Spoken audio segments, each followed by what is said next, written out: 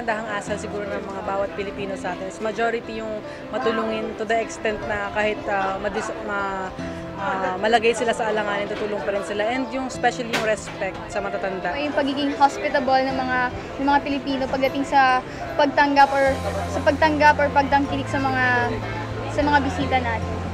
Halimbawa, may na-aksidente na ano, yung iba tinutulungan para itakbo kagad sa ospital.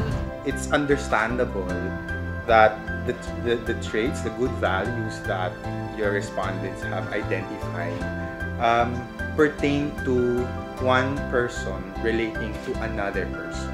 So, yung pagiging hospitable, yung pagiging matulungin, pakikipagkapwa-tao, because it's um, innate.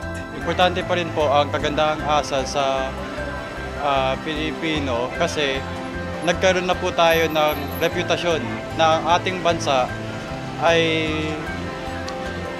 napaka-hospitable magalang, ma masunurin, ma mapag pakumbaba.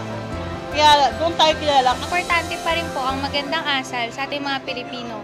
Dahil po, sa iba't ibang bansa, dito po tayo nakilala sa pakiging matulungin, masayahin, values would tell us whether things are important or unimportant. So, if we have identified pakikipagkapwa-tao, being hospitable as, as values of Filipinos, it's not an issue whether it's necessary to help. It's not an issue whether uh, it's right to give a helping hand to someone you do not.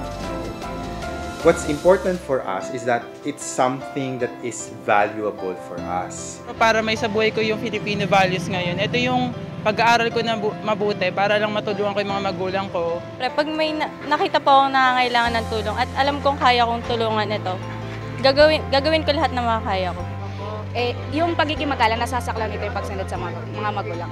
Kaya yun yung lagi kong gagawin, sumunod sa, mga, sa magulang ko, tulad na lang ng utos nila na mag-aral lang mabuti para sa kinabukasan ko. It should be a, a concerted effort coming from all these other parts of the society to make sure to to to to ensure that the person, the individuals, even the younger generations today will still have these good traditional values.